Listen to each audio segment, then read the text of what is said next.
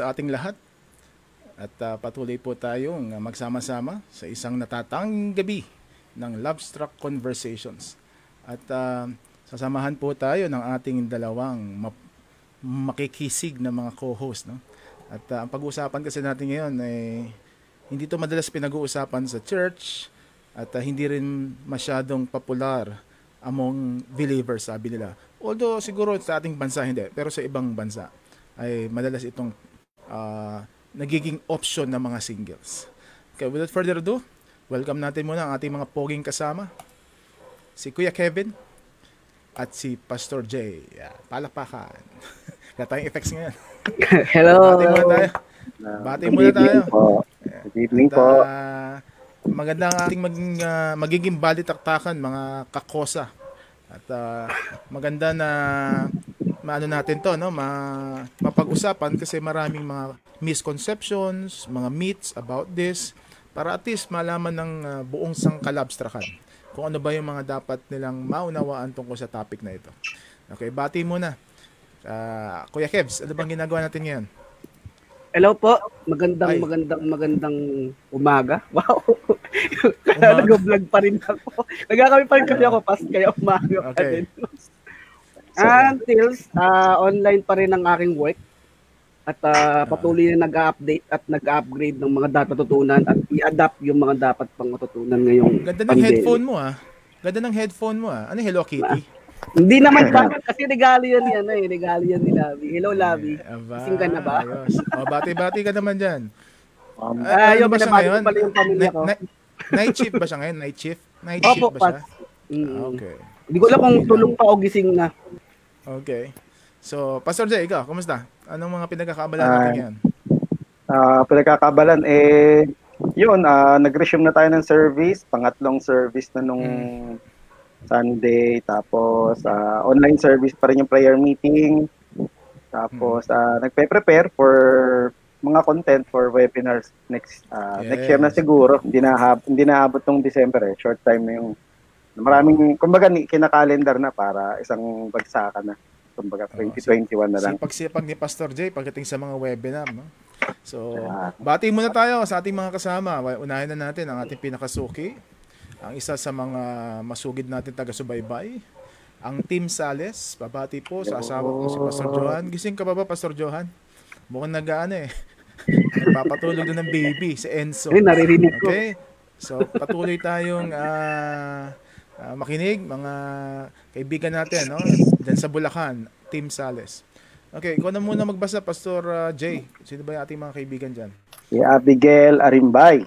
Yan. Uh, papabati rin siya ate, ano yan, Lian, Beryl, Dara. Mm. Isang tao lang ba to? Beryl, Dara, Habok. Yeah, alright. Well, so mga sagot na si Ate Marian. Hindi daw siya pabor kasi wala naman daw. At yun, Ah, Kaya pala. ang baso ko kanina, hindi na siya hindi pa tayo pabor. nagsisimula. eh, kung meron siguro, no? Tama ba, Ate Marian? Kung meron, pabor. Kung meron, pwede. Consider. Okay. Malit na Okay, sino tao pa? na. Ito, si Ate Ronaline. Good evening po. Pa-shoutout po sa JCEAM family. Oh, taga Malabon. Malapit lang to. Malabon. Kuya Kev, sa inyo, Malabon. Oy, Sabi Taga. Nabotas po mga si... Kamanaba area. Ah, taga Nabotas itong si ano, si si Kuya Kevs. Well, si Ate Marilyn natatag, no? Okay. Online dating, sabi ni Kuya Aaron. Marami pong nang go ghost. Wow. Paliwanag natin mamaya yan, yung mga nang go ghost, no? So Okay. So Well, mamaya, kung pag may pagkakataon, kasi nasa kabilang time zone kasi yung ating i-intervene if ever, uh, ina mahirap na magkabilang mundo tayo. So, kapag may pagkakataon mamaya, papasok natin siya dito sa eksena. Kasi ang pag-uusapan natin ngayon, mga kakosa, okay, Pastor Jay at uh, Kuya Kevs, ay ito. Ano, ah, ano ba yan pag-uusap? so, ang ating ah, basic na tanong ngayon, basically, is what? Ito, number one, bakit maraming naiengganyo sa online dating apps? Yan. So, alam niyo na siguro, Pastor, yung mga dating apps. Naabutan mo pa yung mga dating apps, Pastor? Dating apps? Ah, Friendster ba yan, Bas? Ah, O ano ba yan? Ah, Pastor, BB Jurassic na yan. Ano ba, Jurassic na BBS yan. ba yan? Yung BBS system ba yan? O, ganun. Oo, mga ano, Pastor. Talagang Para 90s sa na time di 90s. pas, parang mga Yahoo Messenger. Tapos, Okay. Yung mga pastor, iba-ibang ano. mga dating apps, mga well, Tama. alam naman ito, Tinder, Tinder. okay, Tinder lang alam ko ba? Cupid, Ah, Tinder lang. Okay. Well, meron mga Christians Marami counterpart na eh, yan. marami E- na ngayon. E-Harmony, marami yan. So, well, mag-google nyo lahat yan. So, ang tanong, bakit maraming naengganyo sa online dating apps? Number two, romantic or risky ba ang online dating? Sa Yan. romantic, ah, matindi ba ang ah, spark niyan o kailangan mag-ingat tayo? So, ano mga pros and cons na online dating? At ilang guidelines when you want to do online dating? Ano ba yung dapat nating tignan kapag you're doing online dating? So, dyan iikot yung ating ah, usapan. Of course, ah, kailangan nating bigyan ng ano, no, to give flesh to the discussions. Kailangan nating ah, magbigay ng isang example. Okay? So mamaya magkakaroon ako ng isang ah, special guest. Interviewin natin. Nandiyan na siya sa ating ah, back studio. Yun. Mamaya ako na muna introduce. No? Standby ka muna dyan, ah, ang ating butihing guest. Kasi i-discuss muna natin, Pastor at ah, Kuya Kevs. Yung konting pananaw lang. bakit maraming naiengganyo sa online dating ngayon? Yan. Sige. Sige. Oh, anybody? Eh. Anybody? Sa tingin sa akin pa sa experience ko, maraming nainganyo kasi particularly ano ano pasintabi sa mga women. Mga women yung nakikita ko ah, specifically yung na na-alarm na sila sa age nila. Yun. Mm-mm. Na-alarm na sila sa age nila. At ah, ano nila, tingin nila dun dun makakatagpo pa for their age ano. Kumbaga, yung kanilang age level na. Kumbaga eh, wala na sa thermometer, pawala na or ah, ano na, ganon. Oh, wala na sa loto, wala na sa medida. Okay, wag mo offend mo medida. sana yung mga ano ha. Mahaba, sana haba, ma-offend yung ating uh, well, ito po yung mga common ano, naririnig. Pero pero pwede po mag-comment yung mga babae ha. Ah, pwede. Sasama kayo sa Kung meron conversation. silang violent reaction. Oo. Ah, kung may pwede violent naman eh. reaction, eh. pwede pong mag-unfollow, ganun eh, biro lang. Kuya Kevs, may share ka, di ba may kaibigan ka kamo? Ano bang Yes. naging estado nila? Mm. For me pas no, yung ano, share ko lang siguro marami na engganyo on ano, na sa online dating. Unang-unang reason is convenient. Kasi na online mo lang siya gagawin eh. Parang ano ka lang, download ka lang ng app, tapos ang ganda kasi ng algorithm ng Facebook ano ay ng ng mga ano ng Mm. connected kasi pas yung algorithm ng Facebook, ng Google, ng YouTube. Tapos parang on ano, on on, on a technical side, parang nanghihingi sila ng ano ng mga ng mga data tapos Mm-mm. kino-connect nila doon. So kapag ka ikaw nag naglagay ka ng age mo, nilagay mo yung picture mo and everything. Tapos ah, ginagawa ng ano, ginagawa ng dating app, minamatch nila. Mm. Minamatch nila ikaw doon sa possible o potential na um, partner on the zone. Yeah. So kaya ano, convenient talaga yung ano, yung online dating. Mm-mm. Para kunyari, lalabas yung mga picture, tapos pag kinlik mo, ano to ba sa on my experience to kasi nag-try ako before. Wow. Mm. Nag-try ako before kasi oh, pero Ah, so, ano, ano ang, nangyayari sa'yo? ang Ah. purpose ko ng pass hindi para makahanap ng partner kundi makahanap ng Ah. kliyente. Yun yung Ah, reason ko that time kaya ako nag nag Ah. ano, nag nag, Ah, nag okay. gumawa nung time na yun. So, ganun siya ka ano, ganun siya ka, ka-convenient. Talang minamatch ka niya doon sa possible na maging partner mo. Tapos ayun nga Okay. po, on my ano, meron ako kasing friend, um, doon niya nakakilala yung kanyang ano, mapapangasawa. Actually, kakasal lang nila ngayong taon. Mm-mm. Ah, ayun, based sa story niya po, no, um, hindi pa to, hindi, hindi, hindi Tinder yung app, pero ibang app pa. Pero ang kwento Mm. niya is na nag-meet sila online, ah, dito sa app na to, then after a month, nagkita sila. Ah, then after six months, nag-decide sila na, ano, nag-decide na sila na ano ng ng kasal, then after ayun tsaka sila kinasal. So, kung ano yung pinaka summary, ang tinanong ang tanong ko kasi sa kanya pas parang ano, what make you decide na ano na nagano na magpakasal sila. Eh ang galing naman kasi yung ano pala, ito palang si Guy is teacher and ano Mhm. pala, Christian pala yung ano yung guy. So ayun, Okay. nag yung after amat na nag-meet sila, pinag-usapan nila, pinag-pray nila. Then doon na kasi para silang ano na eh, variable na yung age nila naman na. Okay. So, ano, after six months, saka sila nag-decide na, ano, na magpakasal. Ano, ang parang ang sinasabi nilang nila, ang hirap lang daw talaga sa simula. Mm-mm. Kasi, ang lagi daw po nila, ang laging problema is yung ano, um, marami daw po kasi sa ano sa online nasisinungaling, sinasabi Oo. yung hindi sinasabi yung totoong status sa Best buhay. foot forward lagi. ano? Yes. Ayun. So ano, me- Okay. medyo advanced sa mag-isip. So ano, dahil yan no, dahil mature si guy, mature din naman si girl. After a month, nagkita sila. Then doon sila nagka, doon sila nagkaayos ng ano, ng loob. Then after six months okay. nga, nag-decide nagpakasal and then ayun, ngayon kasal na sila ngayon. Okay. So ilang data lang muna ha kasi I I had some research about this. Ito US ano to, US information to, US data to, no. Well, according to the Pew Research Center, no, uh, it's a parang SWSS to ng Amerika.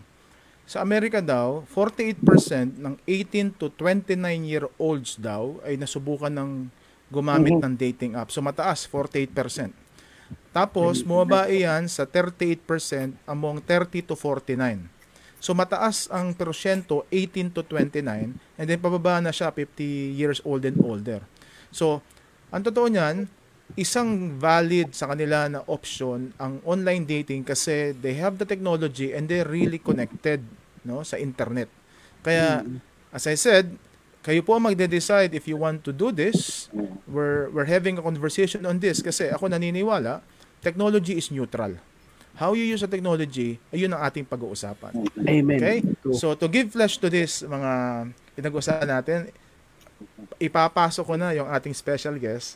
Uh, maaring sa iba, no, napaka uh, bago nito.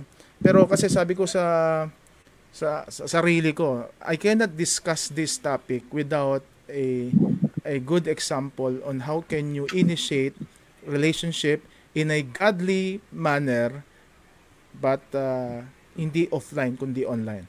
So nasulat ko siya, honestly yung kwento niya nasulat ko, I think siya na ba edition ba yan o I forgot. Yeah, yeah. Siya na ba, Pas? Siya, siya, na ba? Siya na ba? Okay. siya na ba? Kasi ang feature ko doon ay ang aking editor. So you will have to meet na, hindi siya ngayon nasa Pilipinas. Siya ay nasa, tama ba Ate Beng? North Carolina. So that's all welcome. Si Ate Beng. Ah, Alba Jones. Yan. Yes. Hello. Hello, um, Ate Beng. gabi sa inyo lahat dyan. Uh, Hello, Ma'am Beng. Anong Hello, oras Ate Beng. Dyan? Anong oras? Anong oras dyan? Uh, it's 8.43 dito sa North Oh, Carolina. okay. Pasensya na, nagambala ka namin kasi ngayon ay 9.40 dito. So 13 evening. hours ang advance namin. Uh-huh. Tama ba? Yes. 13 hours. Okay. Sige. So, Ate Beng, pasensya ka na. Nakapag-breakfast ka na ba? Hindi, okay lang. Maaga ako nagising. Ayun. Okay. Kasi isa sa mga crucial na ano na na tanong dito, yung mga Christians ba? Well, we're talking here. Well, ang primary primary nating audience ngayon ay na mga church members at the same time, uh, maaring hindi exposed dito. At uh, mayroong konting ano no, may konting parang conflicting uh, parang ideas about this. Pero let's start muna Ate Beng siguro. It's your ano na, I give you the floor. Ano bang naganap? How how did you meet yung husband mo? At uh, anong mapapayo natin sa mga tao about this? Ano yung mga bagay na dapat nilang malaman? Sige, Um. I met my husband. Yung pangalan niya is Darren. Um, yeah, he's from North Carolina. Um, through, an, actually, it's a website. It, uh, I did a trial membership for Christian Cafe. So itong website na Okay. to, Christians na talaga. Ayan, okay, nakita ko na yung picture ha. Oh, yan. Ayan. Yan Yan. yung first time namin mag-meet. Ayan. Pumunta siya sa pumunta siya sa Pilipinas. So we met in August. Tapos um nung by November, gusto na talaga niya pumunta sa Pilipinas after meeting me. So, so sabi ko, wala pa akong books noon, but what I did, siguro is, isa to sa ma-advise ko talaga sa mga taong gusto mag-try ng online dating to use the same kind of wisdom in doing it Yeah. online compared to doing it offline, which is what I did was before I allowed him to go to the Philippines, to come to the Philippines to meet me, sabi ko, ayoko namang paasahin tong taong to kasi ang layo ng paggagalingan niya, di ba? Yes, yes, US, yes. Mumamasahe pa siya. Tapos first Mm. time niya to travel that far, if ever, di ba? So, what I did is, uh, was I, uh, I went to Baguio. So, nag-retreat ako doon, three days. Kasi yun lang yung tanong ko kay God. Hindi pa nga relationship eh. Sabi ko, Lord, is it okay to continue with this friendship? I don't want to leave this person. Kasi by that time, hindi ko pa siya, he, he was just, he was a good person, but hindi Yeah. pa ako dun sa point na I will marry this guy. So all I wanted to ask from God was, God, is it okay to talk to this person, to allow him to come? And in many, so yun lang talaga yung tinanong ko kay God. So he, he confirmed it, it to me through his word, through circumstances, and even yung peace in my heart. So I said, sige, you can come. So November, pumunta siya. Tapos, um, it actually took a long time. So ito siguro, something that I can also share. Hindi mo, kahit, kahit online siya, hindi, hindi ibig sabihin nun, ma, ma, lahat fast forward.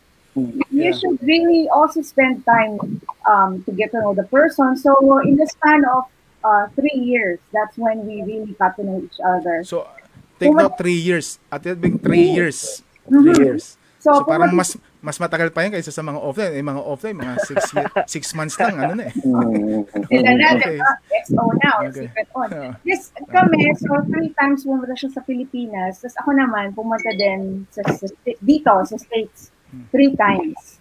So we got to know each other's families. And I got to see, kasi kailangan importante, like, for those who are doing online dating na, na malayo, um, get to know the, not just the person, but the kind of life you will have. Kasi Yeah. iba pa din, iba pa din. Parang I was happy as a single person. I was editing, I was a full-time editor at OMF Lit. Napupuyat sa pag-edit ng Labstract book. Yes, Yes. oo. book si Ate um, I was okay, but but I was willing to let God tell me like if this is another chapter in my life. And um, nakita ko like get to know like one one advice, get to know the person behind the screen. So one advantage of online dating is especially yung malayo ah, hindi kayo pwede makita lagi, is you get to talk. That's how you get to know another person is by talking. And uh, that's what we did. Uh, it, it was a long time. You know, it, we had to wait. So I met him August 2010. We got married uh, October 2013. So more than Pakita 10 natin yung picture ng marriage ni ano ni Ate Beng. Ayun ano, yan. Sana pala. So mat- ma- matangkad si Darren. Yes, oo. matangkad. Ilan ilan ano height niya Ate Ate Beng? 6'4". Oh, six. So, Eh ako, ang height ko, uh, 5 foot rounded off. okay. Kasi po, So- level lang talaga. Rounded off to the newest. So, yeah. Ito nasa na right side Ate Beng. Ano to? Ito yung ano na after ng wedding niyo, di ba to? Ah, Hindi, actually, yun yung, yung church uh, namin, well, nung time na yun, hindi ko pa yung church, no? Parang meron silang party, pre-wedding party. Okay. So, Ah, okay. they gave us gifts. Oo, so, uh, Nice. very, yeah, very, ano, makikita mo, nandiyan yung binigay mo sa akin na, ano, Okay. na, na art na sa aming dalawa. So, that was before our wedding. Okay. So, kilala niyo si Dr. Sela, Harold Sela, Okay. siya yung nagbigay ng message sa wedding Wow. namin. Tapos yung brother-in-law ko, who's a pastor, siya yung nagkasal sa amin. It was a very Wow. intimate wedding. So ang ang ang gusto nating pakita dito Ate Beng no, hindi kumo online ay hindi dadaan sa proseso ng offline maayos na pagliligawan at meeting each other's families no. Kasi ang ang madalas napapansin ng iba ay yung mga predatory mga relasyon, ay yung mga sa Tinder type mga casual dating. Yung, Di ba may mga na-feature 'di ba sa kay MJS yung nag-ipon siya ng 26 ba yun na, na niloko niya. Aha. So, well, linawin lang natin mga kapatid sa mga nakikinig dito, no? Hindi lahat na nabubuo online ay, alam nyo na, lumuluha yung mga tao. Let's accept the idea that this is an alternative way of meeting your, well, God's will, sabi daw nila, no? Pero, sige, sa lahat ng mga nakikinig, pwede kayo magtanong kay Ate Beng, no, habang siya ay, kasi, pasensya na kayo, ha? Kasi mabilis lang yung ating engagement kay Ate Beng kasi alam ko busy rin siya. So, Ate Beng, ah, isang tanong pa. Ah, paano mo nasabi na ano na ito talaga yung in the process, 'di ba? Bumibisita daw bumibisita siya. Sino unang bumibisita? Siya, no? Siya, for Siya sure. muna, oh, siya Siya, siya muna, oh. So, ano yung mga guidelines mo nung bumisita siya? Kasi, di ba, ano ba yung mga bagay na pinaghandaan mo? Ah, more or less. Um, nung bumisita siya, so, nag-work ako nun sa OMF Lit, I let him stay sa Legend Hotel, which is malapit lang. So, every morning, before I go to work, I go to his hotel, tapos mag-breakfast kami. So, that's also one way to, uh, of getting to know each other. Tapos, yun nga, I, I let him meet my family, nag-church kami, uh, we spent time with friends. And um, maingat kasi ako, even before I met him, maingat ako how I deal with, with men, ano. So, may, syempre may criteria, as somebody who loves God, and marami kaming, marami kaming pinagkasunduan, which is very unusual kasi magkaiba kami ng kulay. Pero marami kaming uh, things in common, you know, especially yung faith namin kay God, we both love books, and Yeah. uh, uh, siya never married, single siya all his life before he met me. And he was a good, he, he's a good man. So nakita ko yon, nakita ko yon. And uh, dapat naman at di ako masyado na nosebleed. Uh, time kasi English lahat. Hanggang ngayon, di pa rin siya nagtatagalog, pero okay lang.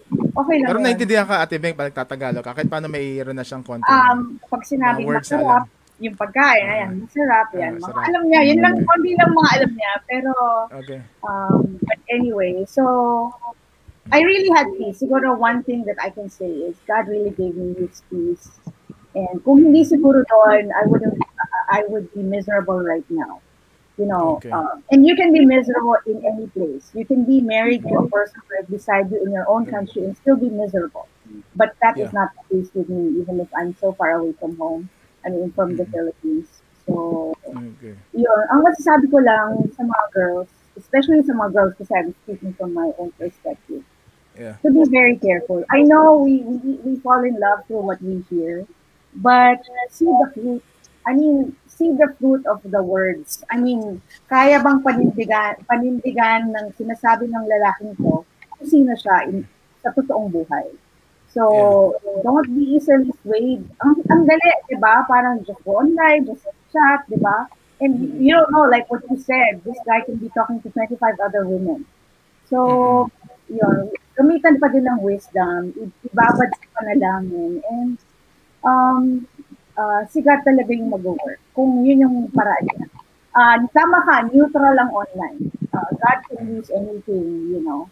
It's neutral. It's how we use it. We apply wisdom to everything. So whether it be offline or online dating. Okay. Pastor Jay, Kuya Kevs, may tanong ba kayo kay Ate Beng? Hmm, ako may tanong kay Ate Beng. Kasi Yeah. ah, sister ko rin may asawa rin sa US eh. Na-meet niya rin yan online po. Ah, Ate Beng, so yung ano husband nyo, you take it as uh, may ano ba, may na-take kayo na word or sign from the Lord na this is it, go. Ganon.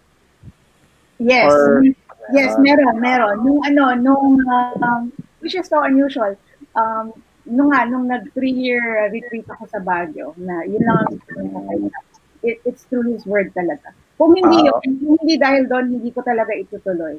Kasi Hmm. wala eh. Wala, mag- wala akong. Parang baka gusto ko lang yon or there's also a, there was also a, a risk for me and I, I could have Mm. said no. Pero Ah, sabi ah. ko, Lord, susundin ko kayo. Kasi actually may mga iba akong na-meet, may mga ibang nag-message sa akin. Mm. Mm-mm. Pero siya lang talaga yung um, siya lang talaga yung kinausap ko. Actually, I Ah. said I said bye to him kasi nag-end na yung trial membership ko. Kasi Ah, he to pay for my okay, ah babayaran ko yung membership mo. No, that's not fair. That's not fair. Oo. But I gave my word na kasi he's a mabutang tao talaga siya eh. So, Mm. after a while, so, sabi ko, I just gave my word that I will say hi to you. No, just to say hi, I wish you the best. So, after siguro one month or two weeks, nag, nag ano ko, I, I uh, fulfilled my word. And just from there, yun, nag-usap na kami. So, Mm, may may follow-up question kasi ako diyan, di God's will. Ganito, no, may mga na nagpapa-pray kasi sa akin na sa pastor. Kasi pag-pray niyo kung ganun online and online. So ang experience ko, mga nagpapa-pray, ah kumbaga set na sila doon. Paano natin iingatan? ah, how can you advise mga mga girls dito na paano ingatan yung discernment nila na ito kay Lord, go signal pala kay Lord. Minsan kasi we're, we're so blind Yes. eh, nakala natin go signal ni Lord yun. Pero nakapag-establish na pala tayo ng idol sa heart natin. Kaya we take everything as a uh, positive from the Lord. con- meron ng confirmation bias. mm Confirmation bias, tama. Confirmation bias. Paano, paano yung protection po doon?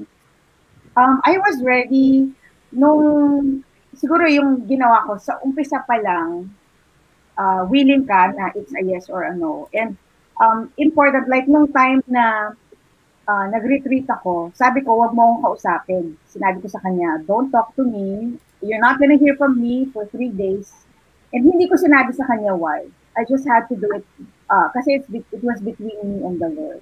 So siguro for girls, um, go talk to God. You know, just just you and him. Wag niyo wag, wag niyo wag niyo sabihin doon sa guy na I'm gonna ask God, you know. Just, Mm-mm. just go to him by yourself and you know na God will hear, you know, when we knock, he will answer. And it and it, and it and it's also true even in matters of the heart, especially in matters of the heart. So siguro yon, wag silang masyadong atat. Alam mo yon? Mm, Tama. I-emphasize mo, wag masyadong atat. Atat. Yes, tama. atat. Parang Mm. Ah, kahit sino pa yan, kahit gaano ka gwapo, you know, gaano ka bait, parang mauuna pa rin si God. Si God pa rin yung masusunod. Huwag yung puso nyo, kasi the heart is deceitful. It's Yeah. yeah. Sa mga Tama. nakikinig po, ah, ito, you, ito umiikot yung ating diskusyon na kailangan maging maingat, wag atat, at always the seek the will of God sa mga bagay-bagay. No? Kuya Kevs, may tanong ka, Kuya Kevs? Um, hello po, Ma'am Beng. Meron Yes. lang pong question. Ano parang Ah, yung, yung- ang question kasi, parang possible po ba na ano, magkaroon ka kagad ng feeling sa isang guy kahit di mo pa siya nakikita or namit mo namit mo online kahit di mo pa siya nakikita? Possible po ba 'yon Hmm. tingin niyo po?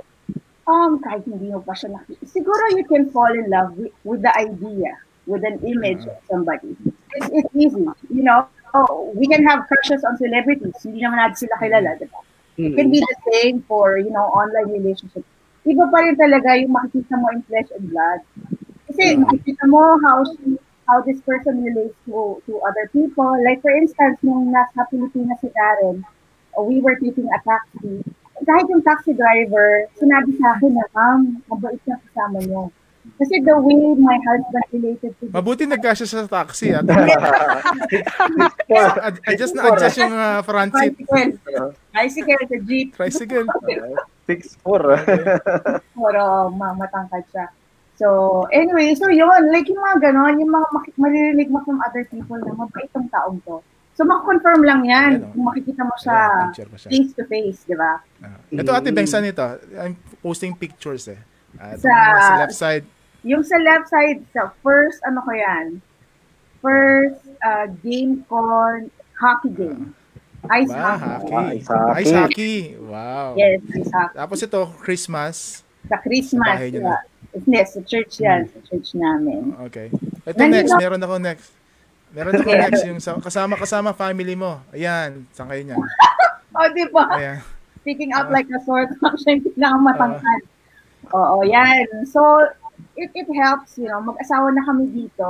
So, um, mag, uh, kasama namin yung buong pamilya ko to have a vacation. Actually, this was the last vacation na boy pa yung father ko. Okay. So, that's very memorable for us. Okay. So Ate Beng, may tanong ako. Ah, ito kasi uh, kasama ito sa mga major questions namin. Ano yung mga struggles kapag ganitong uri ng relasyon? Online, LDR, magkabilang mundo, mag magkaiba ng time zone. Nag-aaway rin ba kayo? Nagkakaroon din ba kayo ng conflict? At uh, muntik bang maghiwalayan? What hap what what's ano? Oh, three, three years. Implication. Yes, ang pinakamalaking challenge is yung online connection. Ah, Data problems. Yung pag hindi, oo, so ko paano ba to? Like, may time for two weeks, wala kami internet. Um, yeah, nangyayari pa din yung um, miscommunication and even yung cultural differences, ano, nangyayari din yun. Um, pero ang pinaka-importante talaga, like in any other relationship, is laging mag-usap. Laging mag-usap. Hindi kami umabot sa point na we wanted na mag-give up na kami. Even nung time na we were waiting for our papers, kasi yung papers namin, inaabot ng 17 months. What should have only taken like 3 months, took 17 months. right, right. Pero siguro yon um, tsaka nagpe-pray kami, like we pray together, even uh, kahit online, we pray together. Tapos, uh, yun, we spending, spending time together and really talking. That's, yun ang ka- kagandahan sa online, is Mm-mm. lagi kayong nag-uusap. Lagi kayong nag-uusap. Yeah. So, basically ano no, pag online kasi since malayo, ah, ang focus emotional intimacy, getting to know each other. Ah, meron ka ba mga tips if ever mga LDR naman? Ayan. So pasok na tayo ng konti doon. Pag LDR ang relasyon, ah, aside from ano, meron ka ba kayong mga ginawa na para ma-sustain ninyo yung yung fire of love sa bawat isa? Um, siguro gifts, one way din, no? Okay. Uh, Ah, for, for, pag uh, Valentine's, syempre, hindi no, magkasama, magpapadala siya ng flowers. May type, iniyakan ko kasi hindi dumating, dumating next day. So, yung mga yung mga normal din na pag-aaway. Uh, ayun, tapos when we got to know each other, I mean, nung magkasama na kami, really took advantage of the time. Eh siguro, one thing that I can say, halimbawa, pupunta ako dito sa States, So, magsistay ako sa bahay niya. Siya, hindi siya magsistay sa bahay niya. Magsistay siya sa bahay ng kapatid niya. So, hindi kami nasama sa isang bahay na kami dalawa lang uh, nang hindi pa kami mag-asawa. So, kailangan i-maintain mo rin yon yung mga ganung boundaries. Na walang excuse na, eh, wala naman akong mapupuntahan. Pero siya mismo, sabi niya, no, you will stay in my house. I will leave every night and just come back the next day. You know, Okay. uh, just to make sure I'm safe. Pero yun din, to avoid the, the appearance of evil. Yeah. So, Okay, meron tayong comment dito. Ang ganda nito kay Ate Becky. Sabi Becky. niya, Basahin natin. No? I agree to Ate Beng and I can relate to her. Almost same kami ng situation. My fiance is also a Christian. We're just both introduced by my tita. Actually, he's the son of my tita's best friend. Filipino siya, but a Canadian citizen. We've been friends for two years through online before he pursued me. Though I'm not a fan of online dating, marami talaga hindi fan ng online dating eh. Kasi uh, siguro yung madalas na kasi napapansin siguro sa media, no? Yung horror An stories. LDR relationship because it is too risky. But you don't know what God and how God will lead you to your God's will. I believe in saying, ah, hindi ko na lang, go ba to? Pero I don't know, kasi hindi na natin nababasa. Sige, what can you say about that, Ate Beng? Yung, maaari hindi naniniwala. Mhm. So, ano yung mga bagay na, ano, para at least, ah, mawala yung mga apprehension. Mhm. Just use the same safeguards that you use offline dating. Kumbaga, ilalapat mo lang siya sa online scenario. Na yun nga, you don't you don't get into a relationship right away. May getting to know you stage, may meeting your family stage, and um, again, you know, God's wisdom overall. Don't be afraid. I, I, all I'm saying is for somebody for somebody who's gone through online dating, and I know it works because I have a good husband, we have a good marriage, we love God, we both love God. Huwag kayong matakot kasi si God naman nag-work sa kahit anong paraan. Mhm. Mm-mm. Alam mo Amen. Parang huwag mong sabihin na ay evil yan kasi online lang kayo nag Mhm. Parang Mhm. are you saying that all offline relationships, all and Aha. you know, lahat ba yan naging good ending just because they met offline? Hindi rin, di ba? Tama. So, So yun. it's not really it's not really the the modality how you Yeah. met, no? It's really the person whom you would marry eventually. Yes. So you get to know that person. So kasi well, naging usapan din ito lalo na kahit sa ano no sa mga ministries natin. Anong pagkakaiba ng online tsaka sa offline worship service? May pagtatalo, no? Magaman merong mga bagay na you cannot ano have all of them no sa online and offline. Pero still as long as we are in the center of God's will and how we do things according to God's will, you know, we're good, no? Si Yeah. Ate Arian, basahin natin ito. Sabi daw, Pa- Pastor J, ikaw nga basa. Pastor J. Kaya nga. Ah, this year lang po, ilan ang nag-try sa akin via online at wala po ako nagustuhan. Saka may takot din po kasi, lalo na hindi mo nakikita personally at hindi mo naman alam yung background kahit na nagpapakilala sila. Mm-mm. So anong masasabi dito, Ate Tweng? Well, ito isa sa mga ano, legitimate and valid Oo. ano to, no, Ah, reason. may fear, ah, fear siya ba? Here, So yeah. how did how did you get to know your partner eventually? Although nabanggit mo na, no? Ano yung mga may mga tips ba para Um, uh, ma-unravel yung tunay na karakter? Yeah, uh, siguro one way is really by spending time uh, with the person. Spend time with the person in his natural habitat. Parang hindi puro date, hindi puro date na, ay, kasi syempre la, laging masaya yung date, di ba? You're doing Yeah. stuff. But, but be with the person while he's with family, while he's serving at church. So nakita ko siya, nagtuturo ng Sunday school. Nakita ko siya na naging worship leader. Nakita ko siya how he, he related to strangers. So that's one way of getting to know the other person. Kumbaga yun nga, again, wag parang um, spend time together in each other's natural habitat. Parang get to know the other person's friends, families, ganun din siya. Kumbaga, it's not just you getting to know the other person. Ikaw din. Oh. Allow yourself to be known. Parang that's just one way. I mean, love is a risk. You can't have 100% guarantees every time. So, and also, that's where faith comes in. Yung faith, as yung wisdom from the Lord. So, lahat yan ginagamitan ni God. Ginagamitan ng wisdom from God. Okay. Mga real life context, no? Oh, Anyway, may sabi dito si Ate Cons. Ito sabi niya. Online lambing, di ubra sa akin yan. Okay, Febs, anong comment mo dyan? Online lambing. Ngayon ko lang narinig yun, ha? Hindi natin pinagtatawanan yung yun. ano niya, sagot niya. No? Pero, Mm, can you nakakatawa about yung ano niya. Ah. online lambingan. Siguro pa Iba-iba merong trust, merong trust issue yan. Siguro ano, dumating na sa part ng life niya na ang daming same ano, same scenario tapos Aha. in the end nabokya siya kaya siguro Aha. ganyan yung sabi niya. Trust issue na yan sa mga At ganyan. the same ano. time, iba-iba tayo ng personality, no? Oo, Many people totoo. cannot, ano, no? Relate really kapag online lang. Kasi may mga love language. Kung physical lang, ano, touch ang iyong love language, perhaps, hindi tayo maano. Okay. So, siguro, Ate Beng, ah, yung pinakahuling question ko sa'yo before I release you, no? kasi alam ko busy si Ate Beng. eh. Ano ngayon ang may papayo mo? Ah, yung sa tanong, romantic or risky ba ang online dating?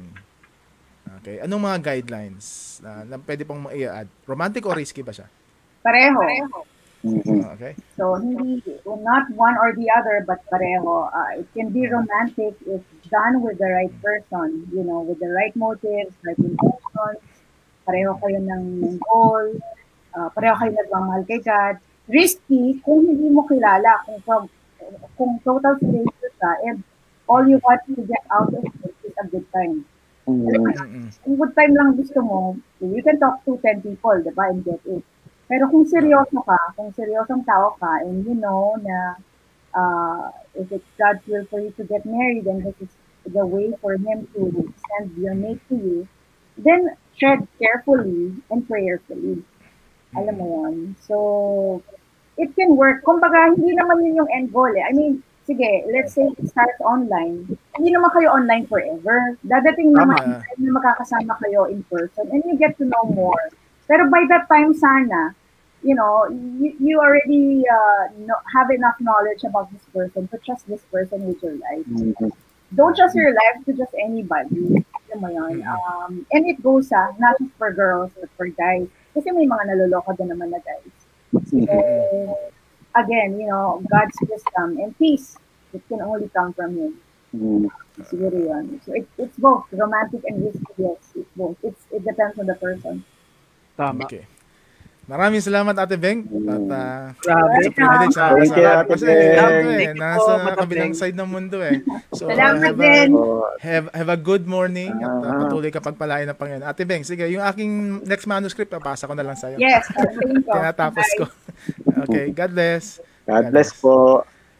Alright. Grabe. So, well, yun ang ano no, yun ang isang magandang picture ng online dating. Well, sa ang apprehension sa nanggagaling, well dun sa risk. So, instead of the online dating being romantic, nagiging risky siya. So, I'll give you some i- ideas lang no kung paano siya nagiging risky. Okay, number one, ito yan. Ano yung cons niya? Unang-una, 'di ba? Mapapansin niyo yung mga security issues. Kapag hindi maayos, lalo na mga public computer, yung mga, di ba, mga, Mhm. usually ginagawa yan, di ba? Makikita niyo sa mga, Sa rental. ano to, yung, oh, mga piso net. Yung Ten mga piso net, di ba? 10 pesos ang isang oras sa So, so ang nangyayari, yung daming gumagamit, kunyari nag-login ka, nakakalimutan mo, 'di ba? Inabutan ko nung ano, 5 minutes. hindi ka nakapag-log out. Nakakapasok ngayon yung mga, alam niyo na, mga pasaway na nakaka-access information nyo. Kaya ingat sa pagla-login at the same time, yung inyong mga ah, mga basic information, babantayan nyo kasi kapag public ang ano use ng computer, maraming uma-access diyan. At maraming mga alam niyo galawang IT na hindi mo alam kung sino ang ah, gumagalaw na ng information mo. Okay? Sa mga nakikinig, you can also post your comments and then you can share your stories so that we can also discuss kung ano man yung mga bagay na kailangan natin maproseso about this topic. No? And number two, isa kong napansin, ito. Yung sinabi natin, you always have yung best foot forward. Mhm. No? I mean, ewan ko, sa ating mga lalaki, ano madalas na ginagawa panandidigaw, di ba? Minsan, di ba? Papogi. Di ba? Uso pa po, pastor, uso pa pomada, ano yung pomada, pastor? Eh, pa, gel na agad ako kasi. Gel Ah, gel ka na agad, sorry. Ah, Kasi nagbibenta pa kami ng pomada dati nung bata. ang, ang, ang Pomada. pangalan, Beatles. Ay, yung Beatles, pastor. yung sa dati ko, ano, Vitalis eh. Yung, ah, Vitalis. ano eh, oh, Vitalis. Yung liquid ba yun? Parang ganun. Bango. Yes. So isa 'yan sa mga dahilan kung bakit maraming maraming ayaw sumubok, no? Kasi unang-una sa sa simula lang maayos. Then unti-unti dadalhin sila dun sa mga conversation na alam natin, no, na mga masiselan, mga nakakabastos. Kaya ganito mga kapatid, I really suggest that you assess kung ano yung nature of the app that you're you're being involved in, no? Kasi in case of Tinder, okay, ayon sa survey, Tinder really is for casual dating. Yung iba dyan, gusto lang ng sex eyeball. Pero of course, hindi lahat. Pero yung majority doon, well, the, the, based on surveys, no, ganun ang nangyayari. Pero sa iba, well, ito, magbabasa ako ng isa ha. May isa nagpadala sa atin. Ang kanyang experience naman ay, kasi inuna natin yung rosy, romantic, no? Ito yung risky. ang ginamit niyang app, di ko na sasabihin, pero itong kanyang naging mga learnings. Okay? So you can comment sa mga nakikinig, you can comment ang, sa kanyang mga learnings. Number one, yung gumamit siya ng app na ito, hin, sabi niya, hindi ko po kayang magsabi o magkwento sa kanila with 100% trust kasi di ko sila personally kilala. O, ano masasabi niyo dyan? That's number one. Ah, on sa ano pas, yung sa di siya makapagbigay. Siguro sabi ko nga kanina, napapaso sila. Kasi di, Oo. di naman sila ma ano, eh, di, kumbaga, mayroon silang Mm. mga issue na nangyari na to before na ganito yung sinabi, tapos di naman na Mm. ano. Kaya sila napapa, napapaso. And tsaka pas kasi matindi yung ano, eh, matindi ang social media eh. Kasi usually, yun yung isang risky na, kunyari, sinabi mo yung address mo, sinabi mo yung phone number mo, Oo, email ah, address yun mo. ang babantayan. No? Yun yung kilala ano, ka na. yun yung mga mahirap kasi ano eh, um, nagagamit sila, nagagamit yung mga bagay na yun sa ibang paraan. Mm. Kaya nga 'di ba na issue yung kay Mark Zuckerberg, yung kanyang Mm. yung data ng mga tao eh Oo.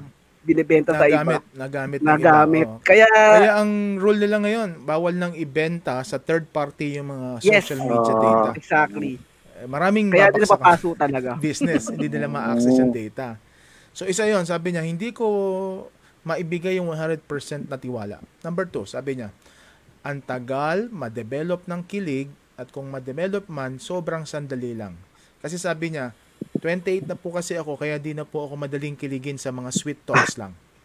kasi isa sa, isa sa ginamit niya kasi ay more of the typing app, no? Hindi ko na sabihin ko ano to, okay. baka kasi ma... Ah, hindi, Parang may dito ano, hindi webcam.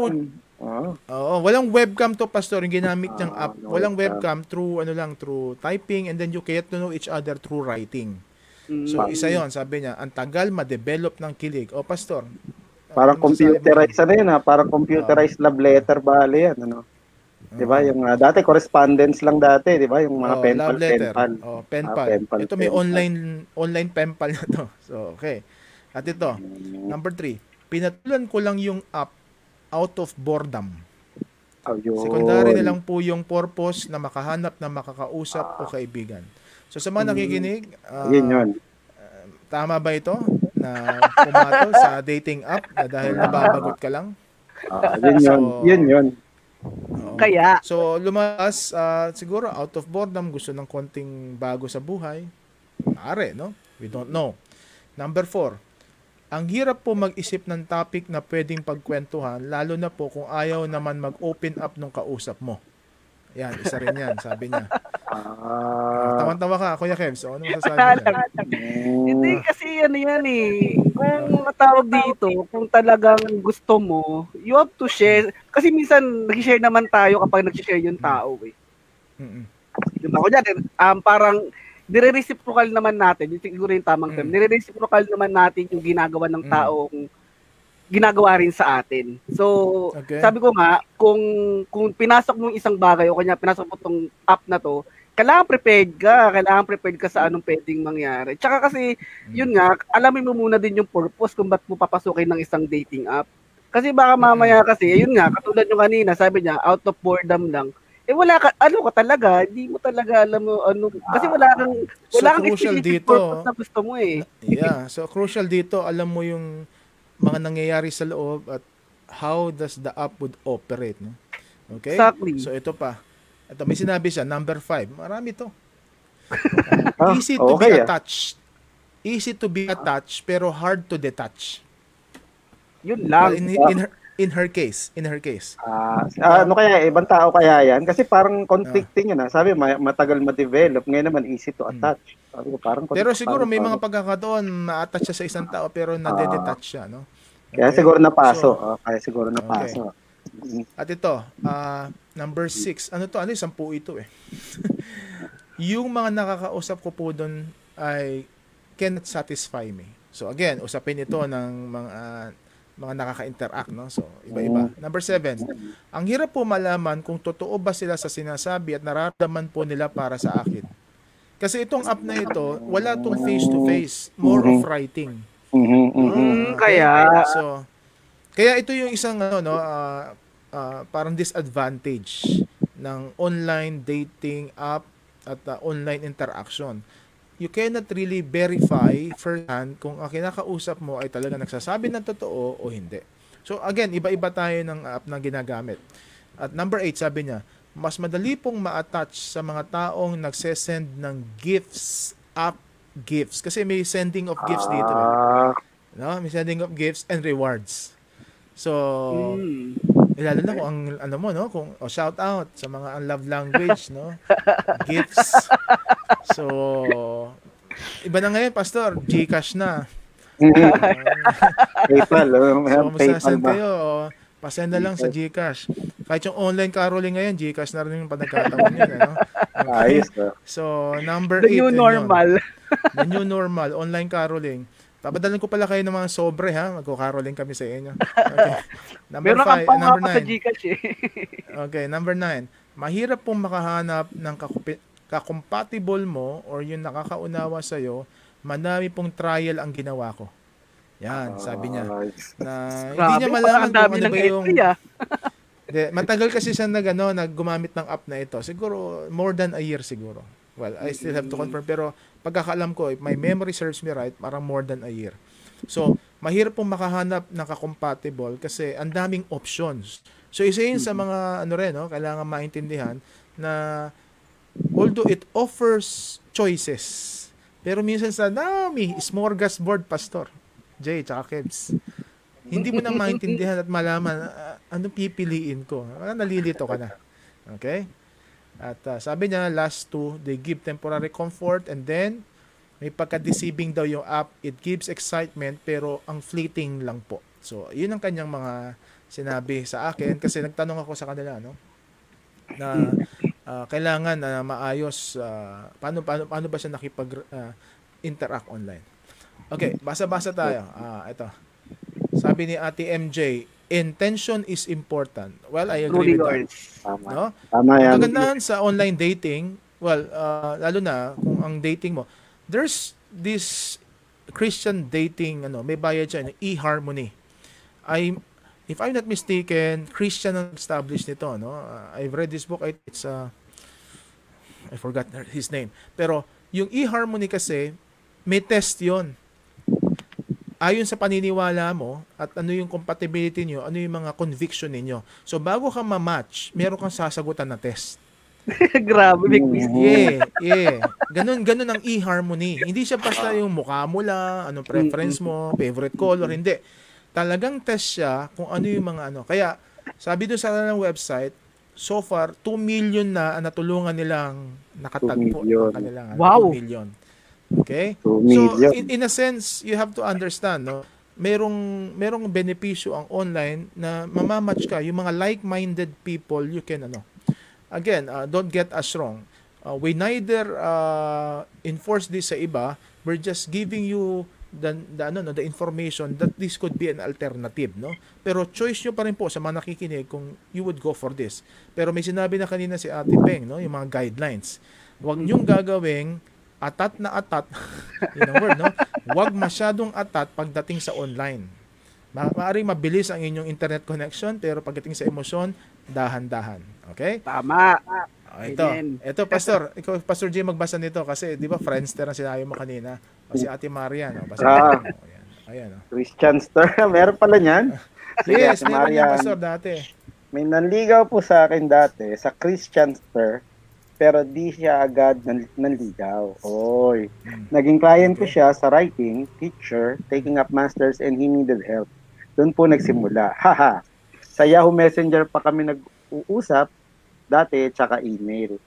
So, Chris, oh, so writing din. Christian din, African American, pero ayaw ng nanay ko. When I asked him Yun. if, ito, if willing siyang pumunta sa Pinas, ayaw niya magpapadala na lang daw siya ng pera para ako ang pumunta sa US. Kaya ayun, we didn't pursue it. Okay. Basahin natin ng konti, ah. Uh, Crucial sa atin yung sinabi dito. Magpapadala lang daw siya ng pera. ah, ah. Yun. So, anong aral dito? Anong aral, Kuya Kevs? Anong aral? Ah, ang basa ko kasi dyan, pas, kung ano siya eh, risky kasi yan eh. Na- Risky pupunta ka ng ibang bansa para lang iyan, no? Tsaka ikaw yung babae, si Ma- Ate Marian yan. Eh. Yeah.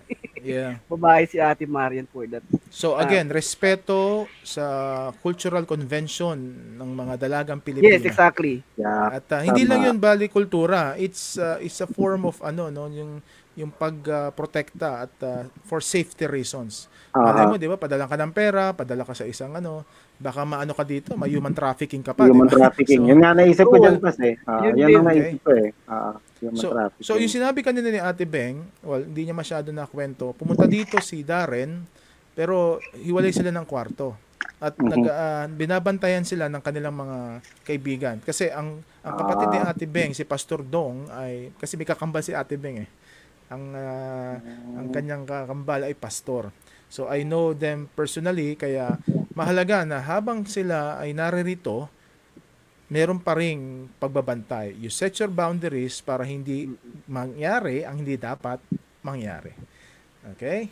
So, ito, may tanong dito mula kay Ate Rachel. Ano pong dating app ang 100% magkakatuluyan in the future pero hindi naman pagsisisihan? Zero knowledge po. O yan. Ano, paano yung masasabi yan? Oh, Ah, Meron ano ba niyan? Walang ganon. Walang Wala. 100%. Mm, wala. Ah, Mars? Ano yun? Walang ganon. Oh, Ah, kasi Ma'am ang, ang pinag-ano natin dito ay yung mismong tao. No? Mm, Ah, ang, ang, ang, ang technology neutral eh. Pero Yes, how you exactly. relate with each other. Pero meron akong mga guidelines din. Katulad yung e-harmony. Maganda yung kanilang konsepto eh. Ang konsepto nila, hindi kayo pwedeng im sa mga ba, mga tao, maari, although maaaring magsinungaling ka, no? pero at least if you're honest about answering the test assessment or survey, alam mo na yung magiging partner mo, pareho kayo ng interest. No? So, again, kahit pareho kayo ng interest, meron din tayo mga tinatawag na mga unconscious mga requirements sa buhay. Kasi yung conscious, madali natin isulat eh. Pero minsan, di ba, pag pag-ibig nga daw, minsan nawawala yung standard.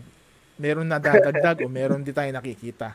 So, ang sagot dito, Ate Rachel, walang full Wala po. na dating app. Pero again, ang aming guideline sa inyo, alamin ninyo yung nature at madalas na nangyayari sa loob. You can ask, may mga anecdotal stories yan. At ito, ang pinakamahalaga dito, honestly, is how you approach the dating process. So, kung paano kayo nililigawan offline, you can also apply that online. Okay? Sige.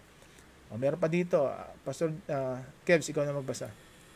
Mula kay Ate Arian. Sa FB po, kapag nalaman na single, bigla na lang may naniligaw. Tapos, kakausap mo pa lang, magpupropose ka agad na mm, gusto ka ng pakasalan o jowain. Siyempre, Aha. weird po yun kasi hindi mo naman siya kilala personally tapos bigla magpupropose sa iyo. O yan. O Grabe yan. naman Sagu- yun. Sagutin natin yan. Shout out sa mga lalaking, mga wala sa lugar ang pagiging romantic. No? wala sa lugar. binibigla, binibigla yung mga kababaihan. Ma- Madalas napapansin natin to, no? may mga lalaki, sobra-sobrang romantic, na sobrahan sa romance, nakalimutan ng commitment. True. Tama. Tama. Diba, nau- nauso dati, Pastor, alam nyo ba yon yung mga, na ano pa, no, nagba-viral, yung papakasalan kita. Last time, meron nangyari dun sa gitna mismo ng University Belt, eh. Di ko makakalimutan yun, eh. Nabalitaan ko, afterwards, wala, naghiwalay na rin. Di ba? So, anong masasabi niyo? Let's converse. Mga babae, gusto niyo ba yon In public ang pagpo-propose? Ayos ba sa inyo yun? Well, kasama kasi ito, no? Online kasi yun nangyayari. So, yung iba naman, hindi nga offline ang proposal, online. At hindi alam nung tatanggap ng proposal, nabibigla rin sila. So, either way, it's up to you kung tatanggapin niyo yung proposal o hindi. Okay? So, ang ang ang mga aral, sige, pastor, let's have a biblical reflection on this. And this would be the ito yung meat of, of our of our discussion. So given nalaman natin yung story ni Ate Beng, yung ilang mga guidelines na sinabi niya, what does the Bible tells us about online dating? Kasi as Christians, as believers, we have to understand, no? Na God cannot be limited in His ways. So that's one. Ay, Gusto ko munang, know, ayun ang intro ko. That God can use different means and ways so that we can find yung partner na inilalaan niya para sa atin. Meron ako nabasang meme dati, no? Ah, 'di ba si David bago ibigay sa kanya yung kanyang asawa, Mm. ah, ayaw niya kasi Mm, kunin kasi no. Ah, So nag nagtuli muna siya ng mga ano, ah, ng mga 10,000 ng mga niya. No? Maraming Oo, ano, yung mga libo. Eh, and then yung Philistine. well, ah, ah, uh, mga foreskin ng mga ano no? Uh, Philistine. mga Philistine para ma-deserve niya daw. Kasi sabi niya hindi, hindi, hindi ka pwede magbigay sa akin lang ng asawa King Saul. I have to deserve it no? Ang ganun ka, ka ano ka ka gentleman si David. So meron din ibang pagkakataon di ba? Yung si I think uh, yung anak ni ano no? Ni ni Abraham. No? si Isaac. Jacob. bago Si niya ba, Isaac na, natagpuan niya yung kanyang asawa kasi mm, 'di ba through through arranged Pinahanap. marriage so maraming pagkakataon Pinahanap. Yes. So, Pastor, ngayon, anong guidance natin as we look into the Bible? Anong mga guidance natin with regard to online dating? Sige. Can you Sige, give some- muna? Well, Ah, sa ako akin, muna? ah, sige, Okay, sige, Kevin ba muna. muna? Ah, Ako muna. Ah, Yes, Kevs. sige, Kevin muna, ikaw muna. Ang sa akin pas ano eh, 1 Corinthians ano pa rin, 1 Corinthians 6:12. Everything Okay. is permissible, but not everything is beneficial. So, sabi nga sabi nga natin, yung ano, yung um, social media is ano siya, neutral siya and for me is a tool. Kung paano mo ginagamit yung social media, depende yung ano, masama o mabuti ang isang bagay, depende rin sa paggamit natin. So kung gagamitin mo siya para manloko o mang ano ng ibang tao, and bad siya. Pero kung gagamitin mo siya on a good way, and, 'di ba? So sabi ko nga, 'yun, everything is permissible but not everything is beneficial. So Okay. nasa tao pa rin kung paano mo gagamitin yung ano, yung social media or dating apps. And sabi nga kanina sa comment, intention is important. Ano bang intention natin? Bakit tayo kukuha online? Kasi naniniwala ako na no, na um, ginagamit um, kung paano ginamit ng kaaway yung mga bagay-bagay para sa kasamaan, ginagamit din to ng Diyos sa kabutihan. So lahat ng Okay. pwedeng ano, kaya even na secular ginagamit ni Lord Mm. para sa ano sa kakabuti natin. So, 'yun, kung kung ikaw man ay ano, kung nagpupurso ka kung isip iniisip mo na parang pag-iiwanan ka na, pag-pray mo din kung papasukin mo talaga siya and be prepared syempre. Maging Mm. prepared ka dun sa papasukin mo. Okay. Ayun po. May, sina- may sinabi si Pastor Jay kanina, no? Isa sa mga dahilan kung bakit pumapasok sa online dating ng marami, lalo na mga babae, ay dahil na pag-iiwanan na yung edad. So, ang lesson natin doon, well, kung hindi ka kontento sa pagiging single, and you really want to have a partner, baka pwedeng maging dahilan yan para maging desperado ka. So, Yeah, bantayan exactly. natin yung ating puso kasi sabi ko nga ito lagi sinasabi, unless you are single, self-sufficient at self-dependent, ah, sorry, dependent on the Lord, the first and foremost, baka kahit anong partner ang ibigay sa iyo ni Lord, di ka makokontento. So I have to I have to emphasize that sa aking mga seminar kasi binawa tayo ng Diyos para umasa sa kanya, hindi umasa para sa ibang tao. Umasa sa ibang tao. Okay? So again, sinabi ni Kuya Kevs, it's how you use it. Uh, character pa rin. Okay? Kasi ang online interaction is an extension of your character. Mhm. Amen. Okay. So, Pastor Jay, ikaw naman, anong masasabi mo? Some biblical reflection on this. Sa akin, tama naman pas na neutral siya. Ang akin lang, eh, I always believe pa rin na let the Lord direct your steps. So, Mm. falling in love, committing to a love is one step, di ba? And it's a very important step. I think second sa pagtanggap kay Lord bilang Savior, di ba? Kasi kukomit mo yung life mo dyan eh, buong, di ba, buong buhay mo. Kaya let the Lord direct the steps. Ang ganda nung, ano eh, sinabi ni Ate Beng, maganda talaga na you involve God in your relationship. No, lalo na, sinuko mo yung buhay mo sa Kanya. Ah, involve natin siya sa relationship. Hindi ko makalimutan yung sa akin, no, nung nagde-decide ako to get married. Ang same din yung paya na binigay sa akin ni ano nung ating senior pastor. May peace ka ba? Sabi niya Ayun, gano'n. Kasi kapayapaan. Ah, kapayapaan. Kasi joy pwedeng pwedeng ano yan eh pwedeng i-counterfeit ng enemy yan. Kala Mhm. mo joy pal joy uh, from the Lord eh pwedeng anuhin niya yan. Ah, ano pa ba? Ah, happy ka pero yung peace ah, si Lord lang ang pwedeng magbigay nun. Kaya maganda. So ang sa akin ano ah, online or yung hindi man offline same dynamics of love and relationship pa din yan. Oo. Diba? Are you ready to uh, to give an unconditional commitment to an imperfect person? Diba? Whether online or offline. Mm. Ganun pa din yun. Ang kaibahan lang nga dyan is uh, can you fight the urge to ano ba, ta- bantayan yung puso mo. Yun nga, para bantayan mo yung sarili mo doon sa confirmation bias. Marami doon marami doon nahuhulog eh. Marami doon napapatid eh. sa confirmation bias to the point na ang dami ng red flags, bantayan yung red flags, pero dahil tingin niya answered pa rin, hindi, ano, magbabago naman yan. So, hindi nakikinig eh. Kaya, So dito ano, rin and- papasok, Pastor, no?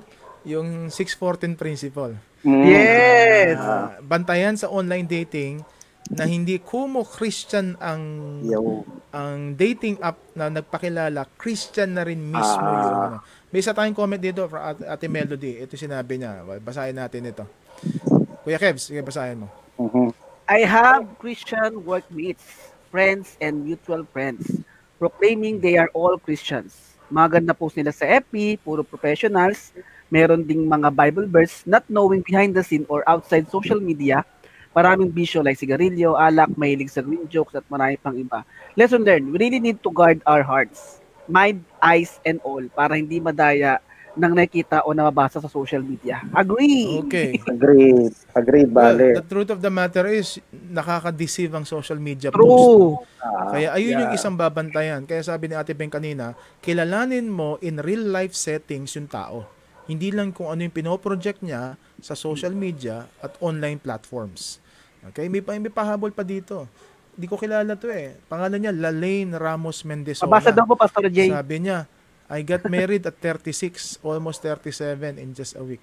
Buti na lang hindi ko iniisip na napag-iiwanan ako. Ano masasabi mo dyan, Pastor J? Mendezona. Nakapangalan ng misis ko yan, ha? Ay, ah, misis pala. misis ko ba? Ba't mo sina?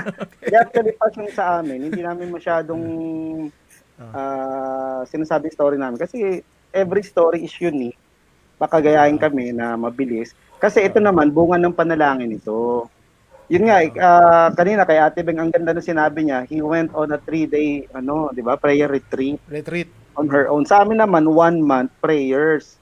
So, yung Okay. nagpakilala sa akin sa kanya, sabi, pag-pray nyo, hindi sinabi pangalan, ano itsure, basta pag-pray nyo lang kung anong sabihin sa inyo. Sa kanya, ganun din. Wala kaming idea doon.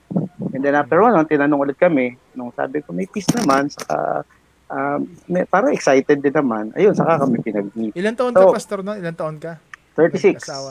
Ah, 30, So, ah, mag, oh, going 37 na rin ha. Kasi ilang buwan na lang naman yan eh. Kaya, Okay. ano, so yung pa, isa pa, yung, yun nga, yung balikan natin ng ano, Christian na, actually maraming, siguro ang audience naman natin ito, hindi lang naman mga young adults, diba? May mga youth din. Yeah, yeah, maraming youth yeah. ang napapaso sa ano eh, online Yes. relationship eh. Marami sa youth. Ah, marami. ah, so, ingatan muna. Tingin ko po, yun nga, dynamics of ano, relationship, love relationship. Una, handa ka na ba sa stage na yan? Mm-mm. Dapat Yeah. ba, dumadive ka na ba sa pagre-relasyon? Di ba kaya ang dami nasusugatan? Kaya yun, nagkakaroon tuloy ng ah, trauma. Yung sabi ni Kuya Kebs kanina, yung comment sa binasa nyo, baka dive ng dive, kaya ang dami na niyang sugat. Nasusubsob ang mukha.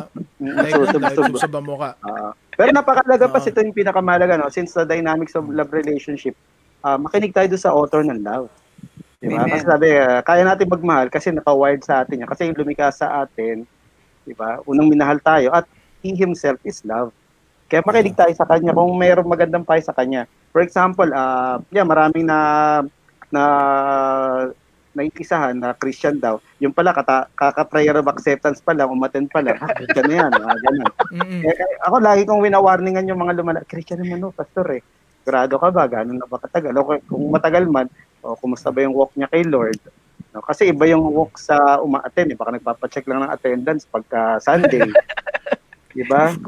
So, Babaan- niya talaga kung talagang committed at binago ni Lord. No? Well, may Mm. nagsasabi ganito, Pastor. Kasi ito yung madalas na argumento. No? Well, lagi natin naririnig ito. Huwag natin husgahan yung mga unbeliever. Mm. Ah, baka Yan, kasi correct. kapag pumasok tayo sa Correct. relasyon sa kanila, baka ito yung paraan that they would find the light of God in us. So, May comment ako dyan, be, ano? May comment ako dyan. Oh, Hindi, kasi ano eh, dati akong ano eh, ah, nakilala ko yung girlfriend ko before. Hindi ako ano, hindi ako Christian that time eh. Ah, So, parang nakilala ko, ano, nakilala ko si Lord through her. mm, Tapos, pero kasi ang magandang story kasi namin, talagang ano, um, uh, through her mother and yung ano naging girlfriend ko before, talagang ano, talagang pinurso niya, pinagpray niya talaga kay Lord. And dati ang kuya ko pupunta ng church dahil nga doon kay girl and dumating yung time talagang ano, doon talaga lumalim talaga ako kakaten, kakaten and um, talagang lumalim kay Lord nung pagkatin ng pagkatin. So, yun nga, sabi nga, sabi nga, sabi nyo nga, Papas, um, wag nating husgahan, pero in the end of the day, um, kailangan din talaga nating mag, ano, mag-imbestiga. Sabi nga niya, no, Mm. iba yung, sabi nga sa comment kanina, iba yung pwedeng mapakita social media. Pwede mo dayain eh. Pwede ka maglagay ng sa ka nag-aaral, sa kargatrabaho, Ah. pwede ka maglagay kung nasaan ka. Pati Lahat pwede hobby. mong dayain. Pati hobbies, Ah. exactly. So kailangan mo talaga mag-in ano, mag-imbestiga kasi ang mahirap kasi especially youth. Kasi pili ko ang madaming ang madami na nasusugatan on on ano on uh, uh, daily basis ng ano ng online dating yung mga youth yung parang na-excite silang ano dive ng dive sa relationship tapos parang Mm. normal lang sa kanila na after ano after a month after two months break na nagiging normal ewan ko kung kung ako lang no pero Naging minsan pattern parang na sa kanila. kanila nagiging Oo. pattern na Oo. nakakalungkot lang So, minsan no big deal whatsoever minsan. yes Kaya dito papasok yung isang sinabi ni Ate Ben kanina, no?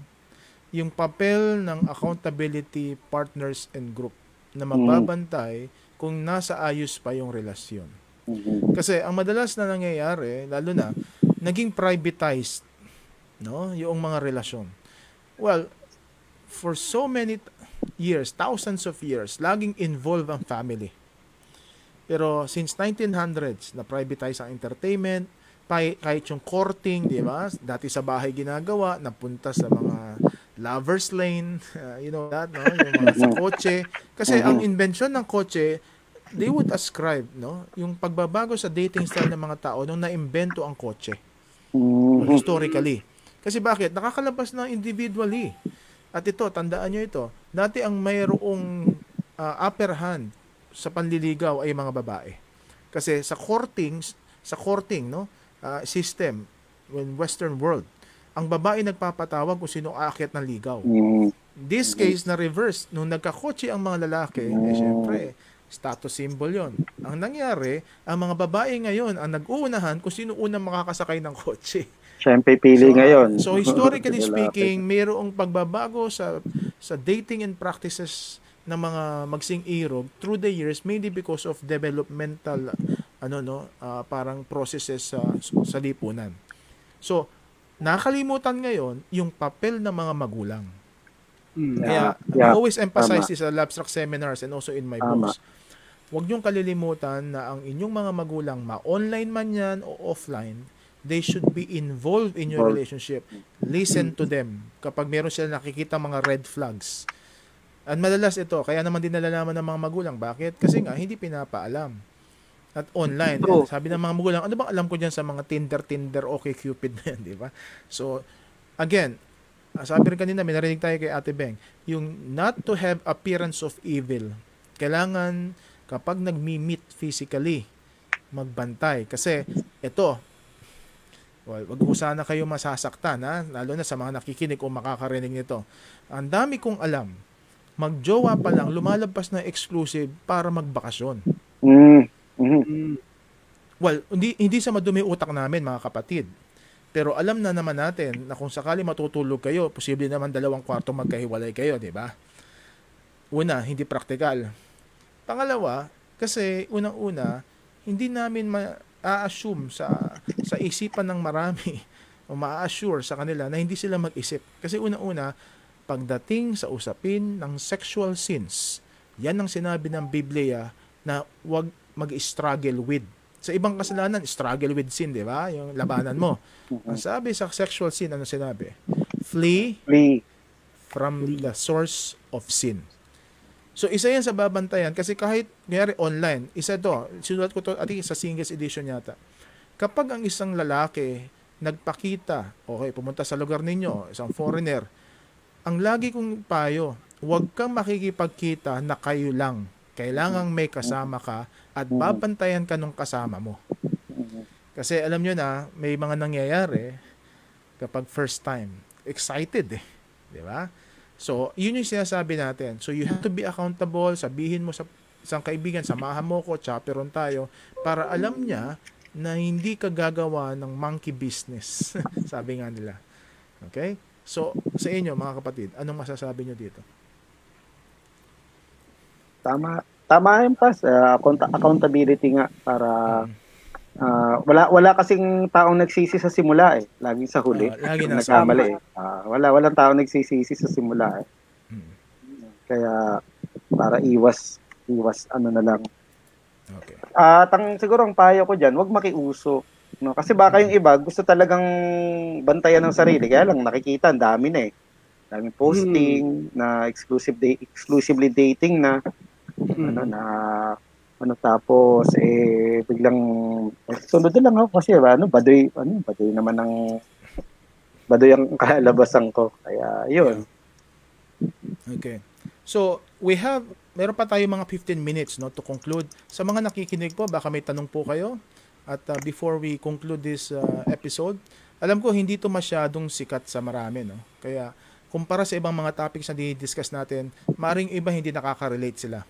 Pero we're doing this episode para at least may idea yung iba na wag niyong i-demonize masyado ang online way of creating relationship.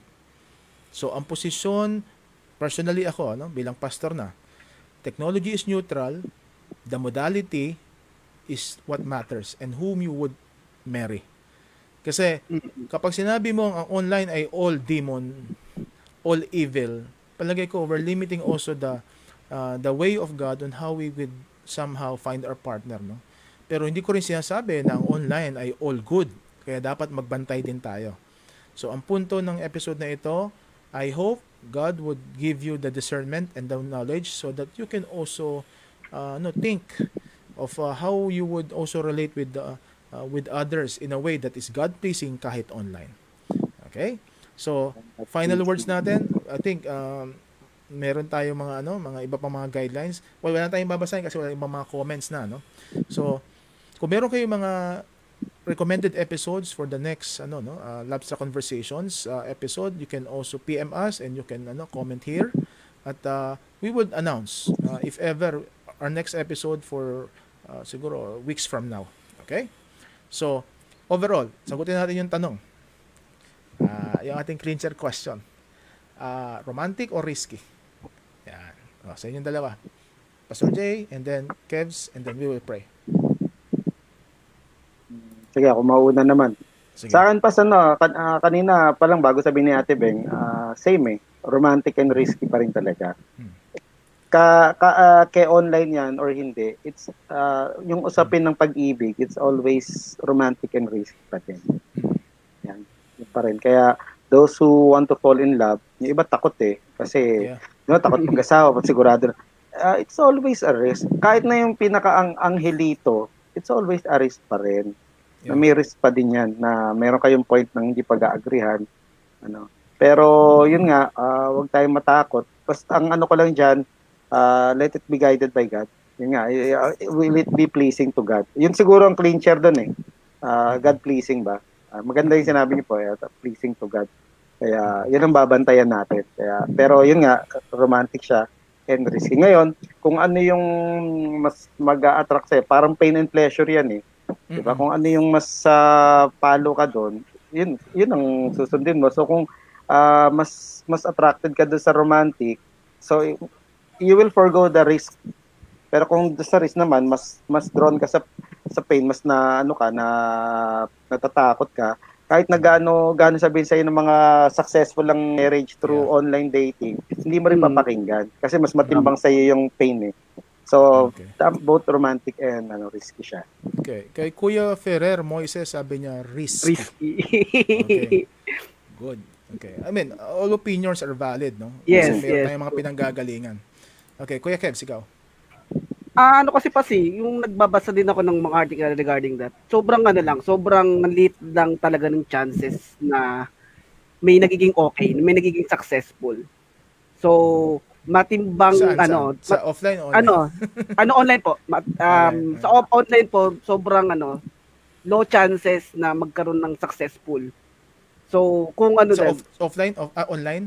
online po, online dating. Ah, O Ayun. Miguel. O Miguel yan? O Miguel.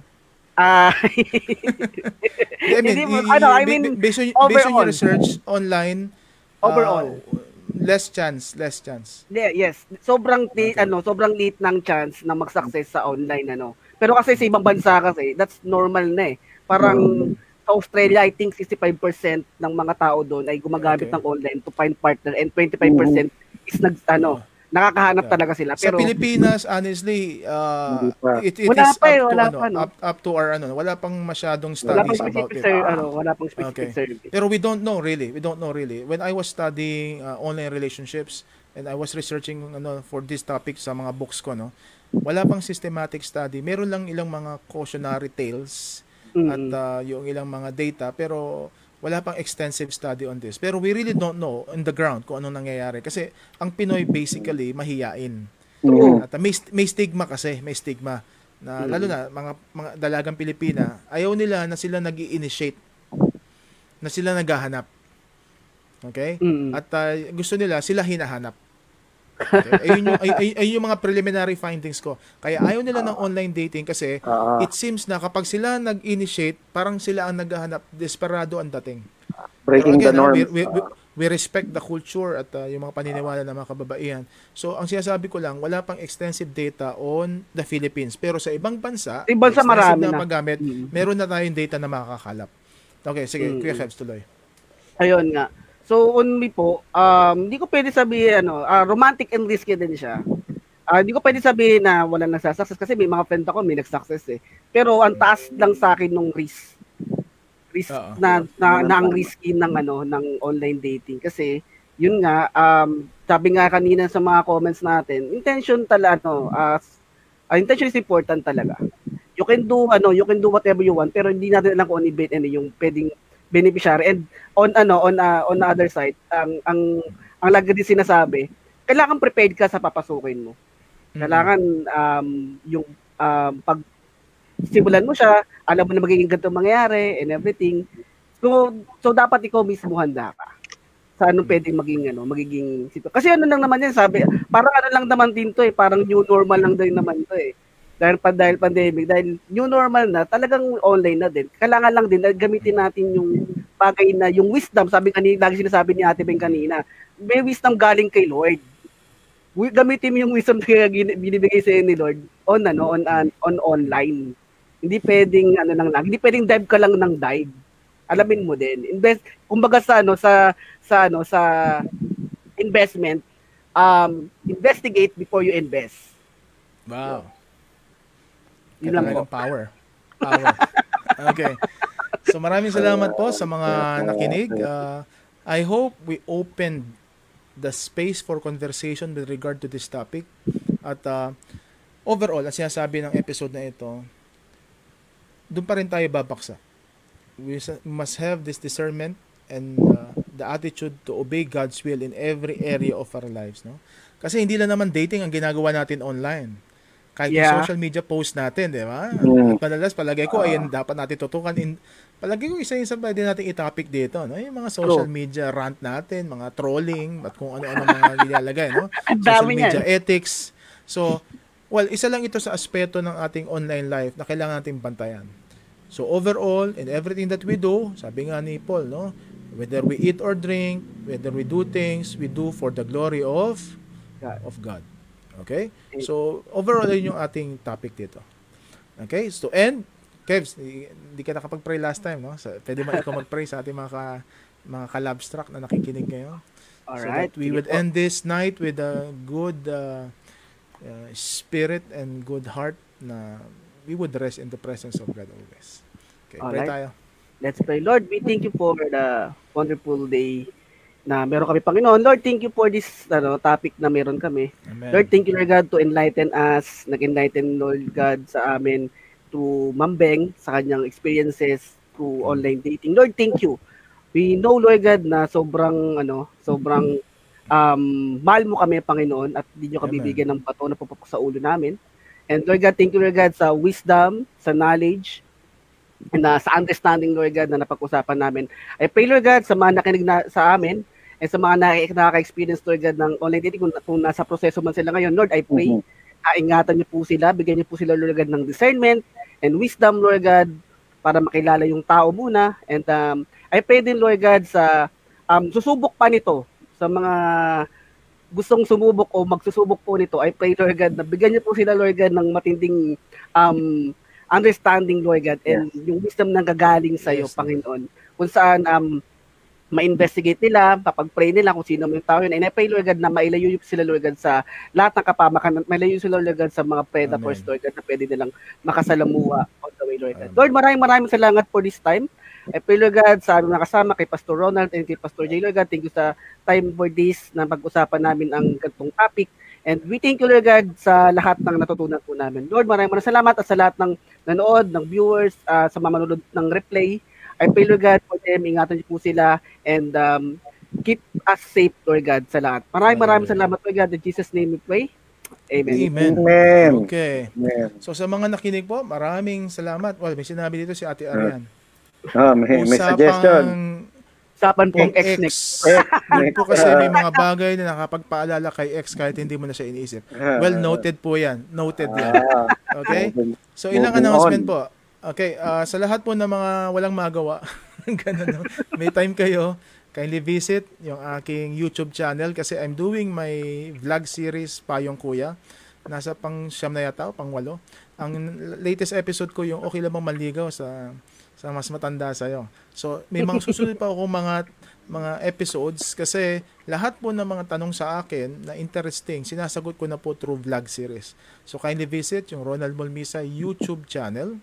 At uh, pinopost ko po yan sa aking mga official Facebook pages, Ronald Molmisa. At uh, kahit dito, yung mga pages ng Labstrack uh, movement, no? Labstrack Camp, Labstrack Book. Marami kaming pages eh. Labstrack Conversations, Labstrack Convergence.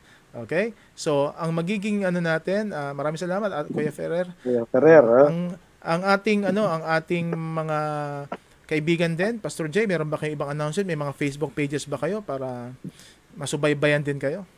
Ah, well, sa amin kasi yung yun nga yung uh, page ng church. Yung isa kasi ano yun eh, ah, yung ah, Family So Blessed, bali close group din siya eh, no, sa mga mag-asawa ng mga ma- may pamilya. Yun yung isang mini-maintain Okay. kong ah, page puro usaping couple siya saka ano. Yeah. Isip mo nga gawing public na rin eh. Ah, Okay. Gawin mo ng public pastor para ma-edify at ma- makatulong sa iba. Kuya Kevs, yung mga ano mo, eh, Ayun ba, sa kanila dami- makikita. Madami akong ipa-plug.